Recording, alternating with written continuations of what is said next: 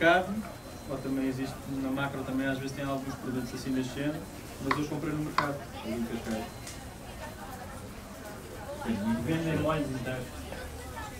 Chamas mesmo segunda primavera? Sim, sim, sim.